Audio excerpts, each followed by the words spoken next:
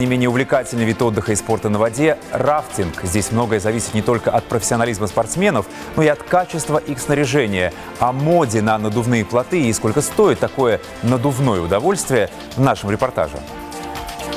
Рафтинг – это сплав на надувных плотах по бурным рекам. Очень опасный вид спорта, поэтому в нем крайне важно надежное и живучее снаряжение. Это очень специфичные лодки для спорта, спортивного туризма, сплавов. Э, это те лодки, которые терпят гигантские нагрузки на воде и э, в процессе эксплуатации.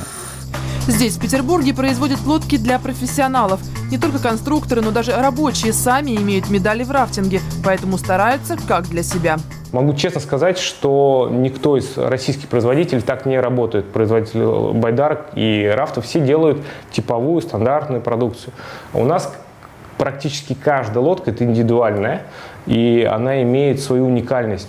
С каждым клиентом обсуждается, какую он хочет лодку, от цвета до формы. Учитывается даже водная мода. Оказывается, бывает и такая. Сейчас потребитель хочет сверхлегкие, чтобы лодка весила полтора-два килограмма. Можно было взять с собой там, на велосипед в поход и свободно таскать. Качество товара выше европейского, но выручка компании не превышает 15 миллионов рублей в год. Причина обидная. В России больше любят лежать на диване, чем сплавляться по рекам.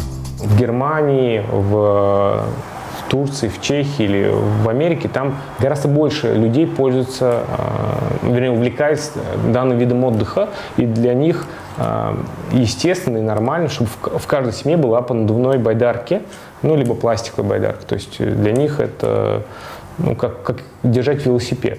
Заказов от профессионалов тоже немного. Цена кусается. 160 тысяч для российского спортсмена – огромные деньги. Рафтинг до сих пор не является олимпийским видом спорта, и государством слабо поддерживается, финансируется, и в основном все-таки сами спортсмены скидываются, либо привлекают каких-то спонсоров и покупают продукцию. Плюс мы, э, например, э, спонсируем чемпионов мира действующих, это команду из э, Красноярска. Вот и приходится выкручиваться. Кроме лодок, выпускать все, что можно надуть из ПВХ. Аттракционы, батуты, плоты для МЧС. Или надувные палатки для Минобороны. Каркас у нее надувной из э, тонких надувных баллонов. Накачивается каркас, сверху также натягивается тент. Все это быстро сворачивается, разворачивается. Но все же любимые детище производителей именно рафты. И несмотря на трудности, они планируют увеличить оборот в 2-3 раза. Крупные партии заказала Турция. Там уже осознали, что наши лодки гораздо лучше китайских.